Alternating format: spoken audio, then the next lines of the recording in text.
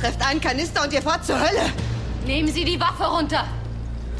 Sie sollen die Waffe runternehmen, bitte!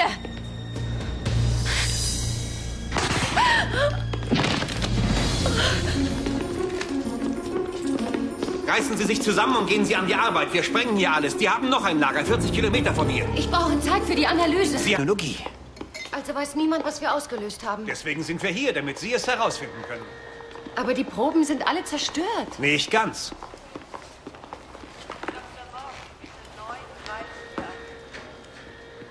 Sie haben einen der Behälter zurückgehalten? Für Ihre eigenen Biowaffen, ja? Waffen, um uns zu verteidigen. Wir können später über die moralische Rolle des Militärs reden, aber nur, wenn wir dann noch leben. Was wir nicht tun werden, wenn Sie Gott spielen wollen mit Bazillen, die alles Leben vernichten können. Die Uhr läuft. Besser, Sie fangen an. Gut. Aber ich hoffe, Ihr Labor ist sicherer als Ihre aufprallsicheren Kanister.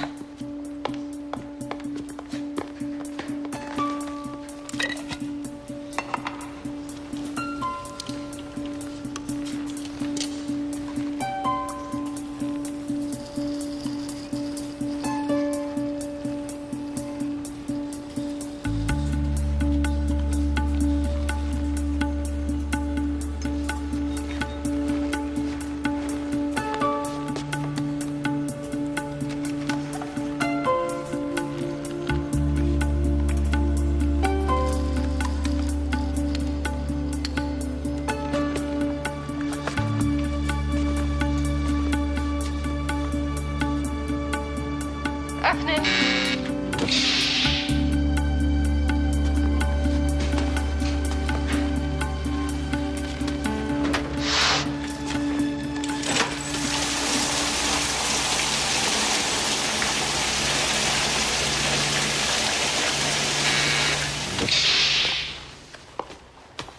Wie schlimm ist es? Schlimm ist noch untertrieben. Wir besprechen das unterwegs. Wo geht's hin? Washington, das Flugzeug des Präsidenten wartet.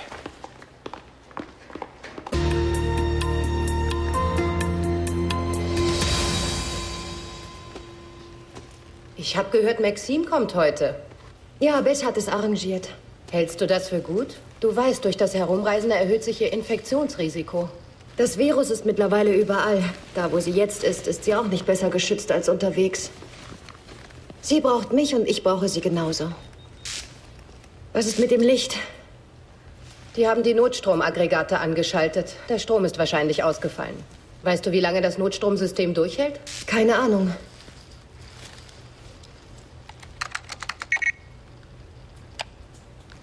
Böser kleiner Mistkerl.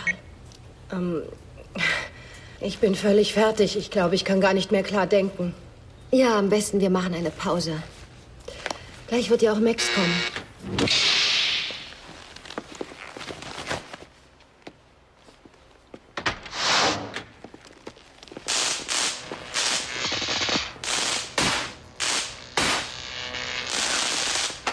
Was passiert da drin? Ich werde mal nachsehen. Vorsichtig!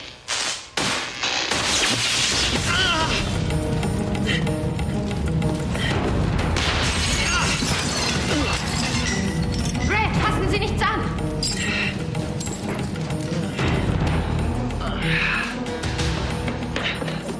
Helft mir! Lasst mich raus! Das geht nicht, sonst wird der ganze Bereich verseucht. Aber wir können ihn nicht da drin Das lassen. geht nicht, wir haben keine Wahl. Der Sturm ist ausgefallen. Jetzt ist sowieso alles vorbei. Wir haben verloren. Sogar die Lüftung ist ausgefallen.